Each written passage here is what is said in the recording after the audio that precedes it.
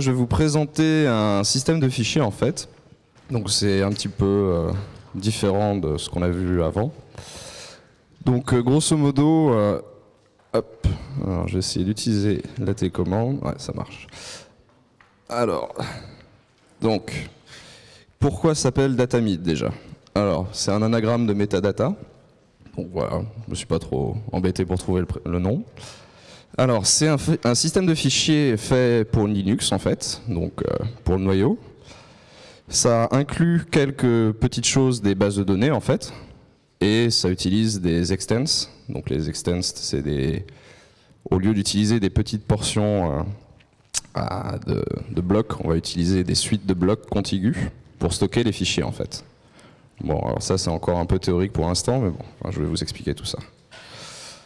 Alors, les systèmes de fichiers modernes, en fait, ils utilisent déjà beaucoup, en fait, des choses dont on a besoin euh, pour faire des bases de données. Donc, typiquement, les batteries, en fait. Donc, les batteries, euh, voilà, quoi, c'est la base de la base des bases de données. Donc, pourquoi ne pas utiliser, en fait, tous ces, tous ces petits batteries qu'on a déjà présents dans, dans un système de fichiers moderne pour autre chose que stocker des fichiers ou pour avoir des accès plus simples sur les métadonnées en fait de vos fichiers. Donc c'est une idée en fait que j'ai découvert après. Bon, je veux pas dire que j'ai eu l'idée tout seul, mais bon, un petit peu. Et après, j'ai découvert qu'il y avait d'autres euh, systèmes de fichiers qui faisaient ça. Donc euh, BFS de BOS et le fameux WIDFS qu'on ne verra jamais malheureusement ou heureusement, on ne sait pas trop en fait. Euh, voilà. Donc en fait, après, on fournit euh, au userland des, euh, euh, des méthodes pour, pour utiliser le système de fichiers comme une base de données. Alors pourquoi? Pourquoi faire ça? En gros, l'idée c'est que par exemple, quand, on, quand Madame Michu télécharge un MP3, elle va pas avoir le réflexe d'aller dans iTunes, de le, de le mettre bien comme il faut, de changer les ID3 tags, etc. etc. Donc l'idée c'est hop, je télécharge, bim, ça va directement dans ma bibliothèque. Donc c'est, ça serait assez cool quoi. Euh, en plus, après, on peut retrouver plus facilement les fichiers parce que les, méta- les métadonnées sont directement enregistrées. Et après, on peut imaginer plein de choses comme euh, utiliser directement la base de données inclue dans le système, enfin la pseudo base de données inclue dans le système de fichiers pour des applications userland. Donc, par exemple, on pourrait imaginer Firefox qui utilise euh, SQLite. On pourrait imaginer que mes bookmarks et tout ça, ils soient directement dans, dans mon système de fichiers. Alors, comment ça marche? Alors, euh, les extents, en fait, ils vont être dans un battery. Donc ça, c'est assez classique sur un système de fichiers moderne, on va dire. Donc quand je dis moderne, en fait, euh, NTFS, euh, X4, mais bon, X2, bon, déjà un peu moins, parce qu'il n'y a, pas ça. Euh, ensuite, alors, le truc qu'il faut comprendre, c'est que euh, les blocs, en fait, ils vont être enregistrés eux-mêmes dans un battery. Donc il va y avoir forcément un problème parce que c'est un peu l'histoire du serpent qui se mord la queue. Donc il faudra trouver une technique en fait euh, pour pouvoir agrandir en fait euh, les batteries sans avoir à modifier le battery lui-même. Donc en gros l'idée c'est d'avoir plus d'allouer plus de place dans le battery. Est-ce que je- vous m'avez compris ou pas? Non, bon, c'est pas grave. Euh, si vous rajoutez des données dans un battery, ça va augmenter sa taille. Mais si c'est lui-même qui gère, qui dit quel emplacement, à quel emplacement sont euh, mes données, eh bien, il y aura forcément un problème. En gros, l'idée, c'est d'allouer plus de place et après de laisser grandir. Bon. Alors, bah, tout ce qui est les inodes, euh, la sécurité, tout ça sont dans les batteries. Donc j'avais une idée d'indexer en fait euh, les ACL pour pouvoir accéder plus rapidement, pour pas avoir des espèces de sous euh, sous X4, c'est un espèce de petit fichier qui traîne dans chaque dossier qu'on voit pas en fait et qui sert aux ACL. Bon, c'est un petit peu ça peut être un peu laid quoi. Et on pourra alors oui, l'idée c'est qu'aussi une fois qu'on a une structure euh, de système euh, définie, l'idée c'est que c'est comme un peu dans une base de données, on peut ajouter autant d'informations qu'on veut après par la suite. Donc par exemple, on pourrait facilement, même si c'est pas fait dès le début, rajouter des systèmes de snapshot en hard, par exemple. Alors, qu'est-ce que fait Datamit en termes de base de données? Donc il va faire l'insertion, la suppression, changer et chercher. Donc en gros, les trucs basiques qu'on trouve dans, enfin qu'on fait dans un, arbre B. Alors, il s'occupe du cache, du locking et oui, des, des, accès de sécurité, même si c'est pas vraiment encore développé. Alors par contre, ce qu'il qu ne fera pas, il ne parsera pas de langage, ça c'est un peu trop compliqué. Puis bon, comme il est en kernel land, si on commence à rajouter des trucs un petit peu compliqués, bah, ce qui va se passer c'est le kernel panique, ce qui risque très fort. Euh, il n'optimisera pas les queries, donc en gros, euh, on pourrait, mais bon, j'ai pas envie, donc je le ferai pas. et utiliser euh, et euh, gérer les relations entre les, bases de données. Euh, alors, mon idée c'était d'accéder aux, bases de données par des special character device. Donc, en gros, on lui passe un flux de, d'instructions qu'on voudra effectuer sur la base de données, enfin sur le, le B-tree, et en fait, après il va, les, il va les effectuer, on peut imaginer, enfin oui, par un espèce de bytecode. Et après, on peut imaginer que euh, bah, qu'il y a un caractère device spécial pour des opérations spéciales sur euh, le, le, file system en lui-même. Alors, on va parler des batteries. Alors, j'espère que vous aimez bien les batteries parce qu'on en parlait beaucoup. Alors, qu'est-ce que c'est un batterie? Ben, Un batterie, c'est ça. Donc, en gros, c'est un arbre où on peut stocker euh, n éléments sur chaque feuille. Donc, le batterie classique, en fait, euh, on peut stocker. Alors oui, c'est vrai que ça peut paraître bizarre, mais euh, on peut stocker euh, les éléments directement à n'importe quel niveau, pas uniquement sur les feuilles. Et nous, ce qui va nous intéresser, c'est le B+, justement, celui où on stocke uniquement les éléments sur les feuilles, en fait. Euh, voilà. Alors nous, là sur l'exemple, c'est un truc que j'ai téléchargé de Wikipédia. bon, si j'avais eu un peu de courage, je l'aurais amélioré, mais en fait, elle est doublement chaînée sur Datamit. Ça peut permettre, je, ne sais pas, si jamais j'ai envie de, faire des, queries multiples threadés par exemple, on pourrait imaginer un thread qui part d'un côté de, enfin sur, des range queries. Donc si je veux faire tout, passer, faire une opération sur toutes mes feuilles, je peux imaginer qu'il y a un thread qui part de la gauche un thread qui part de la droite et puis il se retrouve. Bon, ça peut être utile quoi. Donc en gros, j'ai rajouté cette fonctionnalité là. Alors maintenant on passe au B étoile tree. Alors qu'est-ce que c'est? Alors c'est exactement la même chose qu'un B-tree, donc pas un B+, juste un B-tree, où en fait, quand je vais merger, donc quand euh, je dois rééquilibrer mon arbre à un moment ou à un autre en fait, et quand je merge, en fait, je prends deux nœuds et je les mets ensemble. Donc là, au lieu d'en prendre deux, je vais en prendre trois. Et quand je vais splitter, donc par exemple j'ai une feuille, j'ai un nœud, j'en veux plus, ben, je vais le couper en deux. Ben là, j'en prendrai deux, et puis je vais les couper en trois. Donc en gros, ce que ça permet de faire, ça permet en gros euh, d'avoir une meilleure occupation des feuilles. Parce qu'en fait, dans un B-tree classique, c'est à 50, enfin, grosso modo, les feuilles vont être remplies à 50%. Donc euh, bon, c'est pas, c'est pas, enfin, pas très optimal en fait du point de vue du stockage, parce que nous, ce qu'on veut, c'est stocker le, enfin, que ça soit le plus optimal. Ça veut dire que si jamais je remplissais mon disque, tous les arbres, ils seraient remplis qu'à peu près à la moitié. Donc c'est un peu stupide. Donc l'idée, c'est qu'avec ça, on va pouvoir les remplir aux deux tiers. Euh, c'est ce que fait, il me semble, HFS, le, celui de macOS. Il utilise des B étoiles. Enfin, voilà. Et en fait, voilà, ce qu'il faut, c'est des B plus étoiles. Donc en gros, on rajoute la fonctionnalité du plus sur le étoile, ça fait B plus étoile ou B étoile plus ou ce que vous voulez en fait. C'est pas vraiment bon. Euh, j'expliquerai un peu plus tard.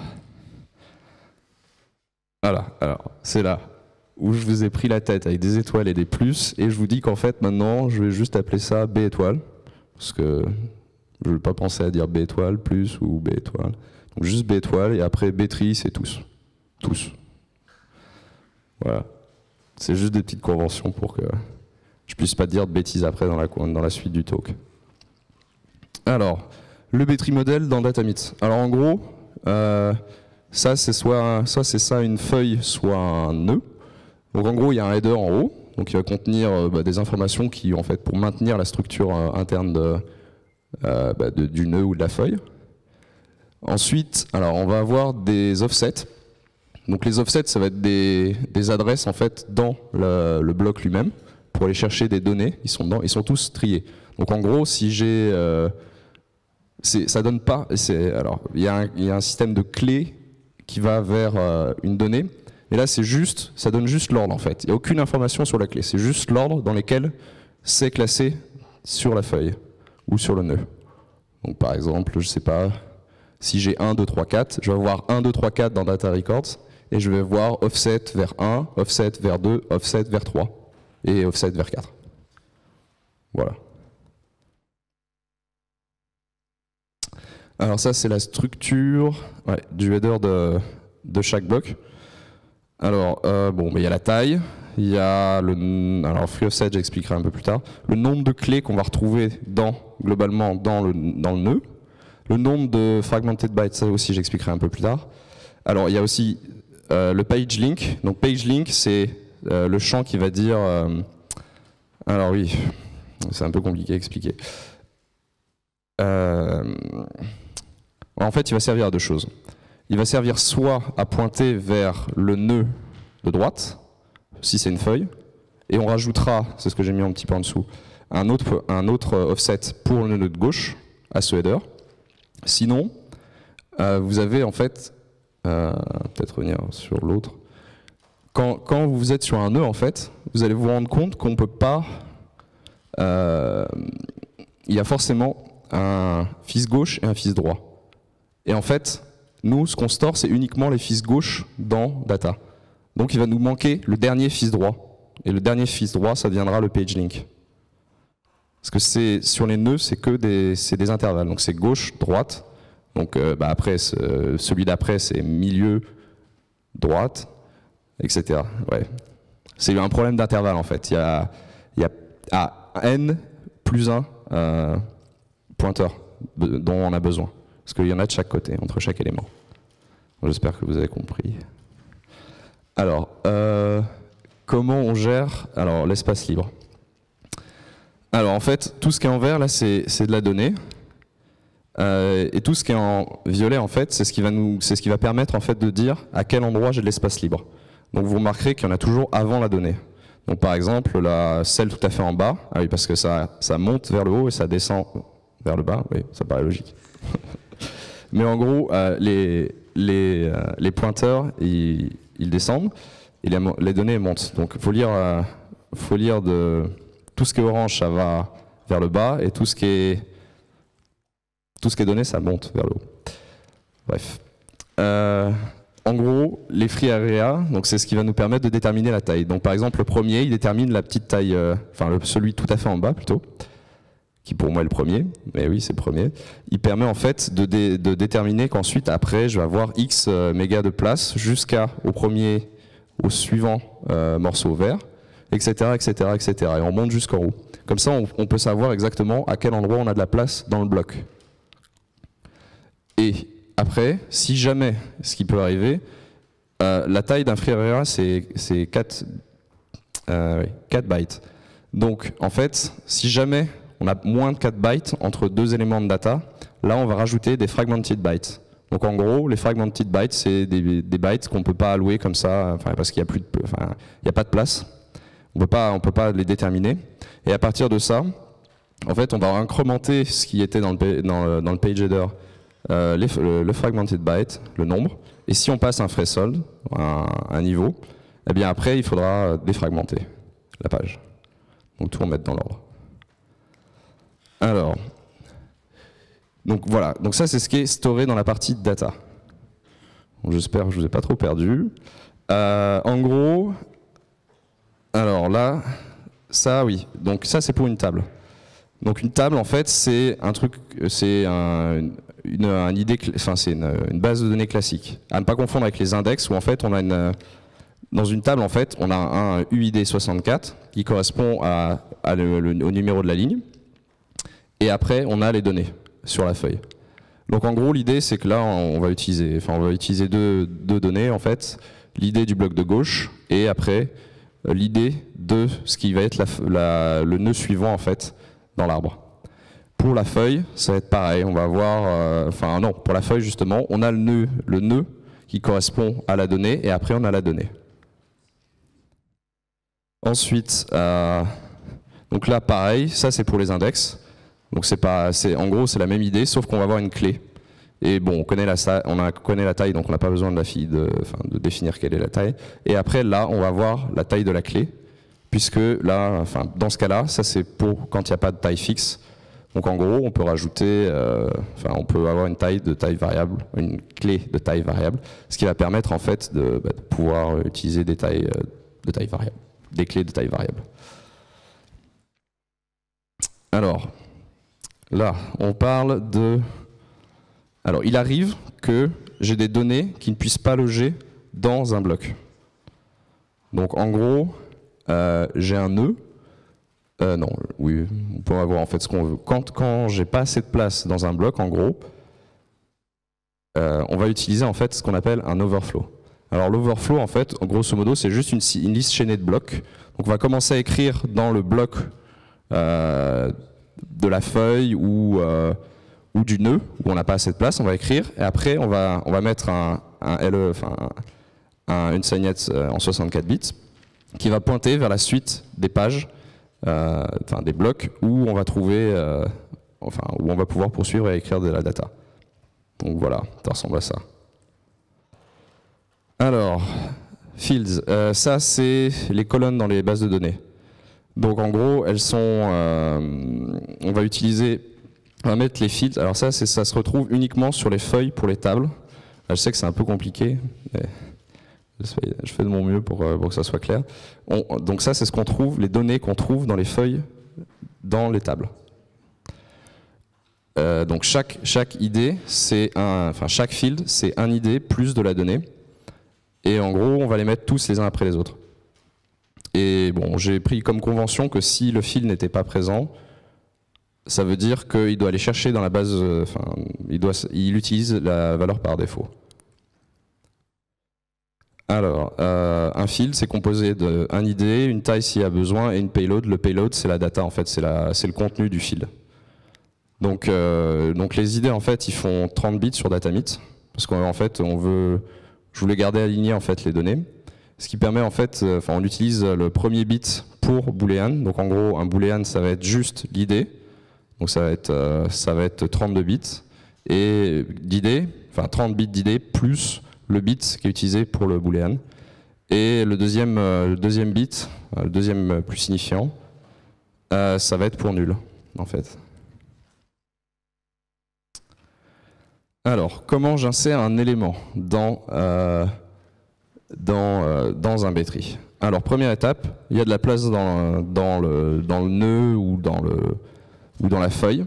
Donc, grosso modo, qu'est-ce qui va se passer? Ben, Je vais juste mettre la donnée dedans tout simplement. Euh, si y a, si j'ai pas assez de place, je vais essayer de passer la donnée sur la feuille de, enfin le nœud de gauche ou le nœud de droite. On va essayer de passer des données et de pouvoir insérer. Comme ça, on va libérer de la place dans le nœud dans lequel on veut insérer. Si jamais j'arrive toujours pas à, insérer, alors je vais couper le nœud en, plus, morceaux. Donc je vais couper voilà, je vais le, nœud en 3 si je ne suis pas la racine, et sinon en 2. En fait, ça c'est l'histoire. On peut pas couper la, racine, on, ne peut pas la couper en, 3 en fait. Ce serait, ça peut pas marcher en fait. Et en fait, on remonte jusqu'en haut, et la racine, bah, voilà, s'il faut, on la coupe en deux. Euh, alors, s'il y, a besoin, on va pouvoir défragmenter aussi un bloc. Donc le bloc, il va être en, il va être, il est désorganisé en fait parce qu'on on supprime des données, on en rajoute, on a des, on a des bits de, de, fragmentation qui s'ajoutent. Et en gros, l'idée, c'est qu'on va tout remettre euh, en ordre. Et donc ça, se produit quand on peut pas trouver euh, assez de, place ou dans certains quand le, byte euh, fragmented byte est reached. Alors pour supprimer, c'est à peu près la même chose en fait. Euh, ça va être à peu près le même algorithme. Soit il y a de la place dans le, bloc, donc on supprime. Soit, voilà, non, soit ça va pas faire le minimum de taille dans le bloc et on supprime. Sinon, on va essayer de donner de la taille en, faisant tourner à gauche et à droite des éléments. Et sinon, on va essayer de merger, en fait, on va, essayer de merger les frères et sœurs pour, pour que ça marche. Et pareil, c'est récursif jusqu'à la racine. Alors comment ça se lock tout ça? Parce que c'est bien beau d'avoir un arbre, mais on aimerait bien que ça soit concurrentiel en fait, l'accès à l'arbre. Parce que sinon ça perd un peu tout l'intérêt d'avoir d'avoir par exemple plusieurs cœurs ou même de vouloir faire plusieurs choses en même temps. Euh, donc en gros, on est bloqué au niveau. Enfin, moi, j'ai la granularité minimale, ça va être au niveau du bloc de disque. Et en fait, on va, les, on va prendre les blocs, les locks à deux niveaux en fait, au niveau de la requête et au niveau du bloc lui-même. Euh, et on peut bloquer pour euh, read or write. Alors, quand on est au niveau de la requête, donc je vais vouloir prendre une requête va dire je voudrais avoir tel bloc. Et en fait, euh, ce qui va se produire, c'est que si je mets pas de mécanisme spécial, il peut arriver que, je sais pas, tous les deux, elles, vont chercher exactement, deux requêtes vont chercher exactement le même, euh, enfin, veulent écrire exactement dans le même bloc. Et ce qui va se produire, c'est qu'il va y avoir un deadlock. Donc là, en fait, on va accepter les deadlocks. C'est ça qui est assez bizarre, c'est que c'est un des rares, des rares systèmes de locking où on les accepte. Et ce qui va se passer, c'est qu'on va le laisser se produire, on va attendre un certain temps, et si vraiment c'est toujours bloqué, alors on va dire, hop, on annule la requête, euh, une requête, on va laisser l'autre se poursuivre, et après, euh, et après, on va essayer de relancer la, requête précédente pour pas qu'elle se, bloque. Donc après aussi, il est possible de loquer carrément toute, euh, toute un batterie pour certaines opérations, l'insertion et la suppression. Donc ce qui peut arriver dans certains cas, en fait, quand on insère un élément en cherchant uniquement par le bas et qu'après on essaye, enfin, c'est un cas assez, diabolique, mais ça peut arriver. Au niveau du bloc, euh, là, il ne faut, il faut pas de deadlock, donc le code doit être parfait. Euh, et euh, on utilise surtout pour les mécanismes de cache, en fait. Alors, donc un exemple de, en fait, pour, pour, bien que vous voyez comment ça marche le système de locking, on va faire un exemple. Je vais chercher une donnée, je vais chercher une donnée. Donc je vais partir du haut de mon arbre, de la racine. Je vais descendre jusqu'au bas je vais vouloir, euh, euh, je ne sais pas, modifier ma donnée. Et donc du coup, euh, on va provoquer, en fait, on va être dans le cas où on split. Donc du coup, on va, se retrouver avec, la nécessité de remonter jusqu'en haut, en fait, de l'arbre pour, pour, propager, en fait, le fait qu'on est splitté. Donc, voilà. Alors pourquoi on n'augmente pas la taille directement? Pourquoi on fait, une descente et une remontée? C'est qu'en fait, euh, ça, ferait plus. On pourrait imaginer qu'on augmente, enfin qu'on split directement du haut de l'arbre, c'est possible. Mais en fait, ça, ça ferait beaucoup plus d'IO en fait sur le disque. Donc en fait, c'est pas très intéressant. Euh, voilà, donc quand on va descendre, en fait, on, va, on aimerait bien que ça soit, en fait, quand on descend, on cherche juste une valeur. Donc on veut, on veut loquer uniquement en lecture on cherche, donc euh, on n'a pas besoin d'écrire a priori. Mais le problème c'est quand on va remonter, ce coup-ci on veut écrire. Parce que ben, comme on a augmenté les tailles des, choses, on va être obligé de splitter des blocs. Donc pour splitter, il faut écrire. Alors bah oui, mais qu'est-ce qu'on, comment on peut faire ça quoi? Parce que bon, on peut, on sait qu'on peut passer d'un write lock à un read lock facilement, mais pas dans l'autre sens, c'est pas possible. Donc comment on peut faire ça? Mais en fait, euh, au début, on va essayer de le, de le locker en write. On va regarder si à la descente, hein, je veux dire, quand on va chercher la clé, en bas du, jusqu'en bas du, de l'arbre, on va regarder si c'est possible de, euh, si c'est possible d'insérer, si on a la taille pour insérer une nouvelle, de nouvelles données dedans. Si oui, on va le passer en read. Sinon, on, on regarde en write et après tous les autres nœuds en dessous, ils vont être en write aussi. Donc ce qui fait qu'en fait c'est un bon compromis parce qu'on va gagner, on va gagner en fait, on, aura loqué en lecture des trucs euh, qu'on avait besoin, pas besoin de loquer en écriture, mais après on n'est pas non plus euh, à 100% sûr qu'on va avoir besoin d'ajouter de la donnée quand on va remonter. Et bon, on aura quand même loqué en écriture. Mais bon, tant pis, c'est le compromis qu'on prend.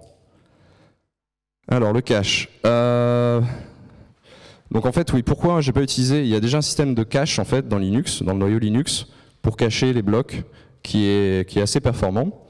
Alors euh, moi, je voulais avoir un peu plus de liberté en fait pour implémenter, euh, enfin, à ma manière, le, système de catching. Et euh, puis voilà, je voulais en avoir plus de liberté. Euh, alors comment comment ça se fait? Ben, C'est basé sur euh, un LRU, donc List Recent Used. En gros, c'est un garbage collector, enfin un genre de garbage collector qui va qui va qui va free les pages qui sont plus utilisées depuis longtemps.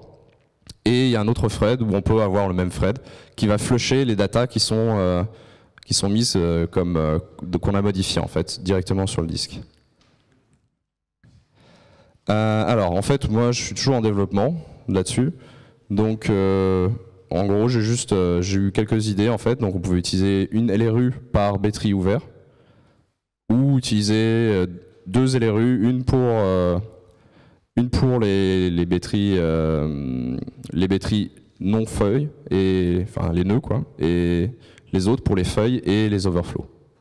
Donc en gros, ça permettrait, comme on sait qu'on a plus d'accès sur euh, les feuilles et les overflows, ça permettrait en fait d'avoir, euh, enfin d'accéder plus plus facilement à ces à ces éléments-là. Alors tout est journalisé effectivement, enfin dans un dans un système de, comme ça. Euh, ça permet de, revenir en arrière en fait et de revenir en avant aussi. Par exemple, si j'éteins mon ordinateur au milieu d'une modification du disque, ben, je veux retourner à un point euh, stable. Je sais que c'est stable, c'est pas entre les deux modifications, enfin entre deux modifications atomiques que je vais faire sur mon, enfin, oui, que je vais faire sur mon système de fichiers. Je veux être sûr. Donc en gros, on enregistre avant les modifications qu'on fait et dans le journal et après on applique les modifications directement sur le disque. Alors, donc aujourd'hui où j'en suis? Alors, euh, bah, j'ai fait l'insertion et la recherche, donc c'est tout le truc où j'ai essayé de vous perdre. Euh, et euh, ça, c'est très très compliqué. Bon, ça marche, a priori. Ça aurait besoin d'encore quelques tests, je pense, parce que bon, ça, il y aura certainement des cas un peu spéciaux où ça ne marchera pas. le système de locking, je l'ai développé partiellement. En fait, il y a des moments où ça retourne juste 1, on ne sait pas pourquoi. Et puis, j'ai pas encore fini de développer. Le catching aussi, c'est pareil. Et euh, les overflows, euh, voilà, je suis en train de le développer en ce moment et, le, et les fields. Donc, euh, enfin voilà, on verra ce que ça donnera. Alors, ce que je fais pas, c'est la suppression. ce que j'ai pas encore fait. Euh, tout ce qui est relatif, relatif au VFS et aux trucs importants du file system, enfin au, au cœur en gros et euh, tout ce qui est userland, kernelland communication. Alors, ce qui a été le plus dur en fait, c'est que j'ai travaillé avec du code que j'avais développé il y a quelques années, avant l'EPITA. Donc à l'époque, euh, je codais un peu, euh, bon voilà, c'est bien, ça, marche. Et en fait, je me suis rendu compte qu'il compilait même pas. Donc qu'il fallait peut-être le retravailler un petit peu. Donc aujourd'hui, il compile, heureusement. Il a fallu beaucoup de temps pour que je comprenne euh, tout ce que comment ça marche, les batteries et tout ça. Donc c'est vrai que c'est bon, vous avez vu, c'est un peu compliqué. Euh, et en fait, le débugage a été très très long aussi parce que bah, c'est vraiment compliqué. Énervant parce que qu'est-ce qui se passe quand on travaille, euh, quand on développe pour pour le noyau? Bah, Quand on a un truc qui marche pas, bah, c'est directement kernel panique. S'il est gentil, il affiche la stack. S'il est pas gentil, il le fait pas. Et il y a même des kernels paniques qui euh, quand il affiche la stack, ça provoque un autre kernel de panique parce qu'il n'arrive pas à afficher la stack. Donc là, là c'est vraiment le grand n'importe quoi, on ne sait plus quoi faire. Et on a envie de, jeter l'ordinateur par la fenêtre. Euh, et aussi l'organisation, moi je suis pas quelqu'un de super organisé, donc déjà le projet euh, il était un petit peu développé d'un côté d'un autre, et puis finalement bah, il a fallu un petit peu organiser tout ça. Alors je voulais vous faire une petite démo, mais bon, j'ai pas malheureusement on a découvert que c'était un ordinateur Windows, donc euh, je vous la ferai pas. Mais en gros, grosso modo, euh, grosso modo, la démo, ça consistait à vous montrer en fait que l'insertion marchait dans, le, dans un batterie classique. J'aurais pu vous faire montrer ça.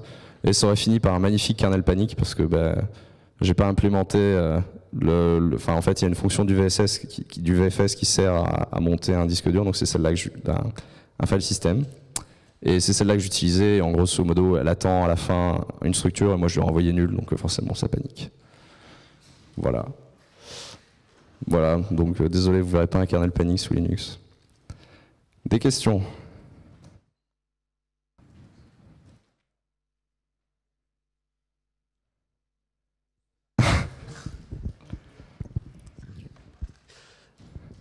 Attends, ouais, ça marche, ok.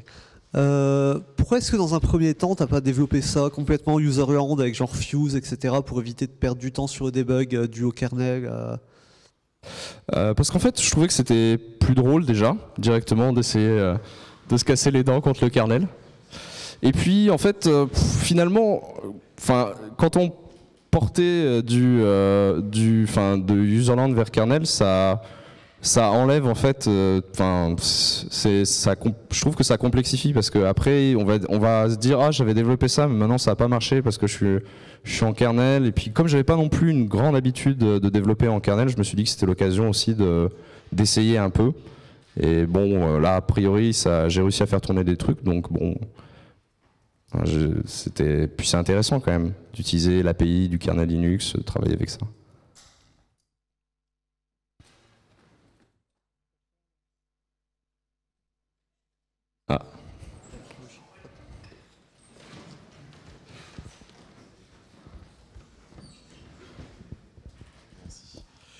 Bon. Ah, je vais pas t'embêter sur les batteries. Euh.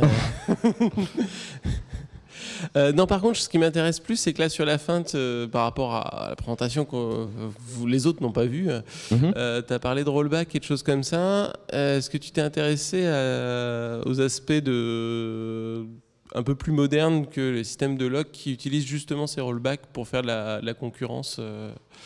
Euh, donc les histoires de mémoire versionnée, de, euh, d'accès concurrent où on commence des opérations, on revient en arrière, euh, en utilisant justement, vu que tu as déjà le framework de rollback, peut-être pour gérer que tu as déjà une, façon de gérer les deadlocks qui, qui commence à être dans cet esprit-là, et peut-être que tu pourrais aller vers, un, vers du lock free d'une certaine manière. Alors, est-ce que tu as été regardé ou pas? Euh, Non, pas vraiment en fait.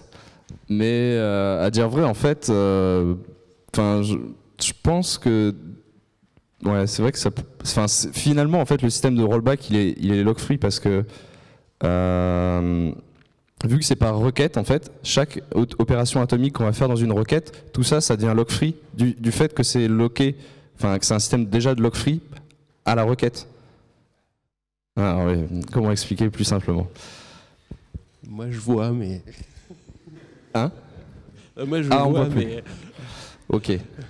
Euh, en gros, l'idée c'est que. Euh, alors, quand on fait le système que j'expliquais de locking pour les requêtes, c'est lock free. Parce qu'en fait, on laisse les deadlocks. enfin, pas exactement pour ça, parce qu'on peut toujours laisser les deadlocks venir.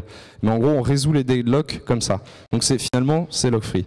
Mais en fait, ça, vu que c'est déjà locké au niveau d'une requête, la requête, elle va faire plein de petites opérations atomiques. Et euh, une fois que, si on veut l'annuler, on va dire, ben, hop, on refait les opérations atomiques dans l'autre sens, ou même on revient directement au point que c'était avant. Et euh, du coup, c'est lock-free, puisque ben, il n'y a, pas de, a pas de lock quand on revient en arrière. Il n'y a pas besoin. On garde le lock de la requête. Mmh. Ouais, justement, en fait, c'est pour ça que je, rebondis pour aller un poil plus loin. Euh, tu pourrais, parce que j'ai vu que tu continues à faire du lock euh, global sur le sur l'app pour certains cas d'insertion. Comme tu as, as, déjà le rollback, hein, tu pourrais euh, gérer ces cas-là directement en mode versionné. bon, c'est une piste. C'est pas faux. Tout à fait. Je vais te laisser tranquille. Est-ce qu'il y a d'autres questions?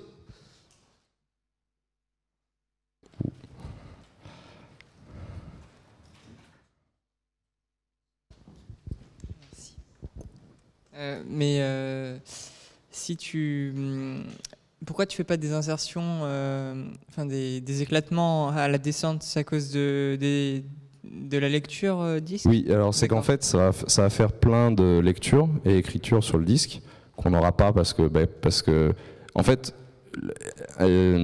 splitter à la, à la, descente, ça veut dire, je vais arriver sur une feuille et puis ben, je vais me dire, bon, ben, il n'y a plus de place. Peut-être que ça pourrait marcher, mais je vais quand même splitter. Donc en fait, déjà, ça va forcément grandir, la taille de l'arbre.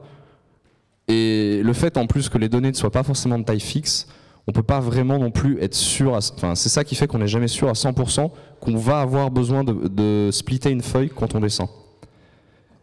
Donc ça, ça fait beaucoup de place et en plus, euh, et en plus, euh, Ouais, c'est, enfin, c'est beaucoup, c'est beaucoup plus, oui, voilà. En plus, c'est beaucoup plus efficace parce qu'on est sûr à chaque fois quand on remonte qu'on a besoin de splitter. D'accord, merci.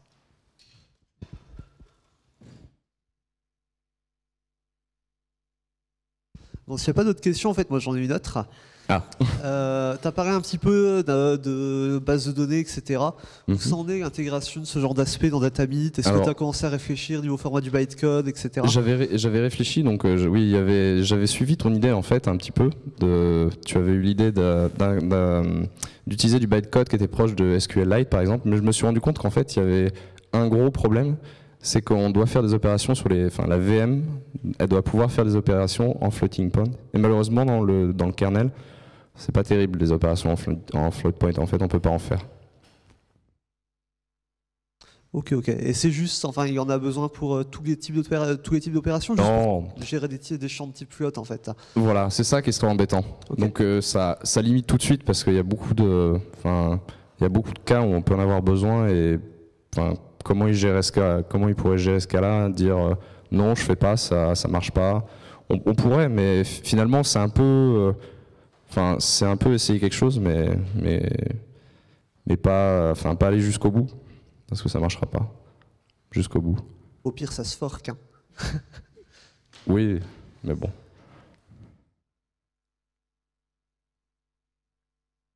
Pas d'autres questions?